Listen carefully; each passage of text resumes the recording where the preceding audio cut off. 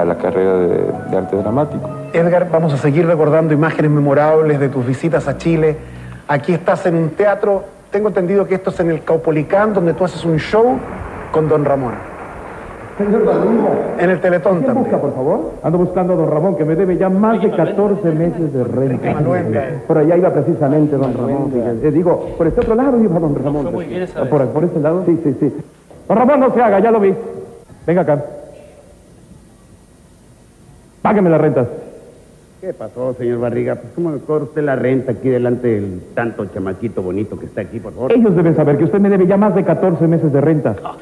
Pues sí, señor Barriga, pero usted sabe que pues no he tenido dinero. Mire, he trabajado en tantas cosas y todo, pero no le he podido juntar ni un centavo, señor Barriga. ¿Usted cree, de qué cree que me alimento yo? ¿Usted sabe cuáles son mis únicas entradas? Entradas más bien parecen salidas ya, señor. Digo, ¿Quieren que les cuente cuando don Ramón fue torero? ¿Les gustaría que les contara? ¿Sí? Se ha escapado un toro bravo del encierro y lo espera don Ramón ahí en el cerro.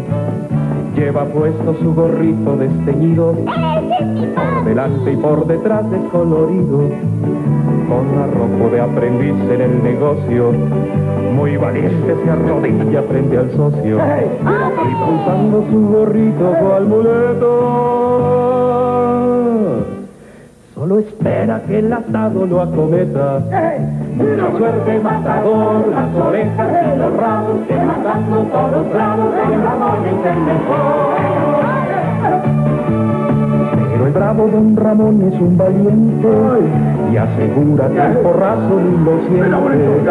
Vuelve pues a demostrar lo que es su arte y el torito nuevamente se la parte. Exclamando con voz tenue y quejumbrosa, como no me dediqué a otra cosa. Mala suerte, matador, sin orejas ni los ramos, que matando todos bravos con la bomba de los